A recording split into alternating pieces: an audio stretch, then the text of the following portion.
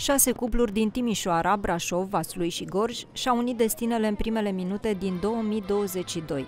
Tinerii au vrut să se cunune lângă poarta sărutului din Târgu Jiu ca să aibă noroc în căsnicie. Pentru toate cuplurile, Revelionul va veni de acum înainte cu două motive de sărbătoare.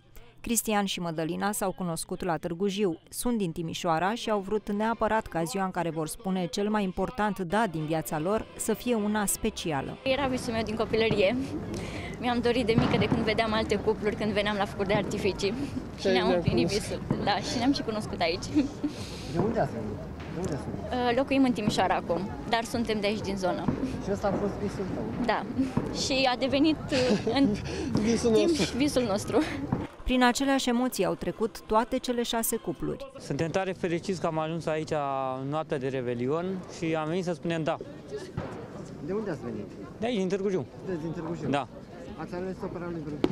Ne plac foarte mult operele lui Brâncuș. Am deci să ne legăm destinele pentru că ne iubim foarte mult și datorită acestui fapt vrem să fim toată viața împreună.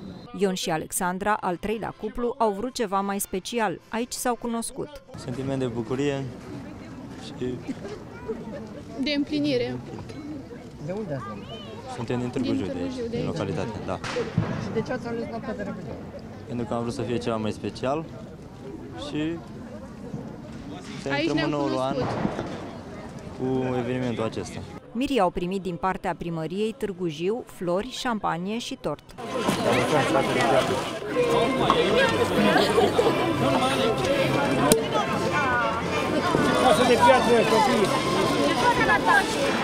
Tradiția cununiilor la poarta sărutului a început în urmă cu aproape două decenii. Anul trecut, din cauza restricțiilor, un singur cuplu s-a cununat lângă monumentul lui Brâncuș. Este un eveniment tradițional deja la Târgu Jiu și vrem să-l păstrăm și de acum încolo. Dacă anul trecut am, ef- am făcut un efort să avem un cuplu la poarta sărutului, de data aceasta, după cum vedeți, avem deja șase cupluri și cred că anul viitor, dacă vor fi eliminate restricțiile determinate de pandemie, numărul cuplurilor va crește, pentru că și de data aceasta au fost zeci de cupluri care au fost interesate de căsătoria la poarta sărutului de la Târgu Jiu.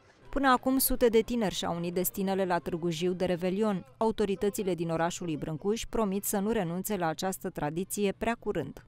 La mulți ani, casă de piatră și tot ce vă doriți. Sănătate și la mulți ani!